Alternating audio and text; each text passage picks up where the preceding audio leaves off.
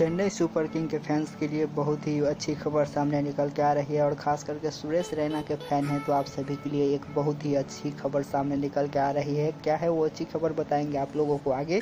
तो अंत तक वीडियो ज़रूर देखिएगा और चैनल पर पहली बार आए हैं तो चैनल को सब्सक्राइब कर दें और बेलाइकन का बटन ज़रूर दबाएँ। तो जैसा कि आप लोगों को पता होगा कि पिछले कुछ ही दिन पहले सुरेश रैना ने इस बात का ऐलान किया था कि आई 2020 नहीं खेलेंगे और जो है वो भारत आ गए थे। इसके पीछे का कारण जो बताया जा रहा था वो पर्सनल रीज़न बताया जा रहा था। निजी तौर पर क्या कारण है, उसके पीछे ये कभी भी खुलासा नहीं किया गया था। लेकिन रिसेंटली ही सुरेश रैना ने एक इंटरव्यू दिया है, जिसमें बहुत ही अच्छी खबर भी सी के लिए सामने निकल के आई है। साथ ही साथ तमाम बातों पर जो है खुल करके अपना बयान दिए हैं कि वो क्यों वापस भारत लौट के आए हैं। तो आप लोगों को पूरी खबर हम विस्तार से बताएँगे। तो जैसा कि आप लोगों को पता होगा कि जो सुरेश रैना आईपीएल 2020 से बाहर हुए थे तो सीएसके ने बताया था कि ये उनका पर्सनल रीजन के कारण से निजी फैसला है, जिस पर सुरेश रैना ने कहा है कि मैं अपने परिवार के लिए वापस आया हूँ।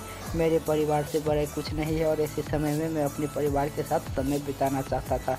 वहीं अगर बात करें जो खबर आ रही थी कि सुरेश रैना का महेंद्र सिंह धोनी के साथ झगड़ा हो गया है सी की जो रूम मिली थी उससे सुरेश रैना नाराज़ थे तो इस बात पर भी वो क्लियर किए हैं और इस पर बताया है कि महेंद्र सिंह मेरे लिए सब कुछ है, धोनी भाई, माही भाई मेरे लिए सब कुछ है और कोई भी खिलाड़ी एक छोटे से कारण के वजह से पूरे 12 करोड़ रुपया छोड़कर नहीं आ सकता है। इसके पीछे एक कारण था, वो फैमिली था। मेरे लिए मेरी फैमिली बहुत ज़्यादा इम्पोर्टेंट है।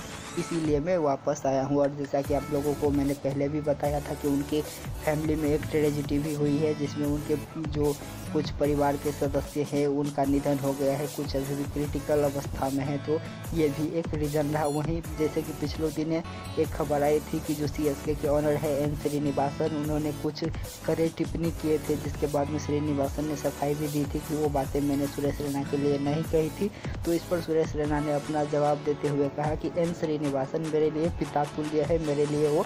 पिता जैसे हैं तो उनका मैं बहुत ही ज़्यादा सम्मान करता हूँ। तो ये बात भी सामने निकल के आई है। लेकिन इसमें जो सबसे बड़ी खबर है और सबसे अच्छी खबर है सी के, फैंस के लिए सुरेश रैना के फैंस के लिए ये है कि जो सुरेश रैना है उन्होंने बताया है कि मैं अभी क्वारंटीन में हूँ और क्वारंटीन में ही मैं अपना प्रैक्टिस जारी है मेरा।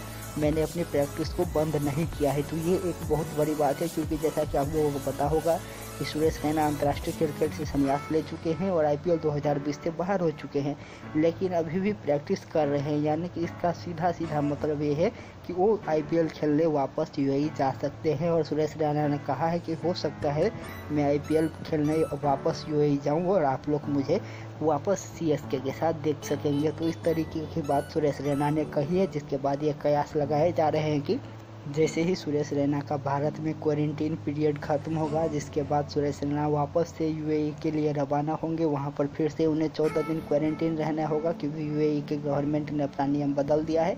पिछले सात दिन था, अब उसको चौदह दिन कर दिया है क्वारंटीन पीरियड तो उनको वापस वहाँ पर चौदह दिन शायद क्वारंटीन में रहना पड़े, जिसके बाद जो है वो वापस सी एस के साथ जुड़ सकते हैं, क्योंकि जब से सुरेश रैना आए हैं, तब से वो अपने परिवार के साथ समय बिता रहे हैं और जो है वापस सारी बातों को विचार कर रहे होंगे कि मुझे वापस जाना चाहिए, क्योंकि जब वो अपने खिलाड़ियों को, अपने साथियों को सी के लिए खेलते देखेंगे टीवी पर तो उनके लिए जो है समय बिताना उतना आसान नहीं होगा। तो शायद हमें आगे के दिन में सी के लिए वापस सुरेश रैना खेलते हुए नज़र आए और सुरेश रैना आईपीएल खेलने वापस यू चले जाए। तो ये एक बहुत ही अच्छा खबर सामने निकल के आ रही है और हो सकता है बहुत जल्द चौदह दिन का क्वारंटीन पीरियड भारत में ख़त्म करने के साथ ही सुरेश रैना वापस यूएई के लिए रवाना हो जाए। तो लेकिन इस पर अभी कोई ऑफिशियल कंफर्मेशन नहीं है कि वो जा रहे हैं या फिर नहीं जा रहे हैं, लेकिन संभावना इस बात की पूर्ण है कि वो वापस जाएँगे क्योंकि अभी तक सी ने उनके जगह पर किसी रिप्लेसमेंट का भी ऐलान नहीं किया है और जो एन निवासन का बयान था, उसमें भी साफ़ कहते कि कोई रिप्लेसमेंट नहीं होगा तो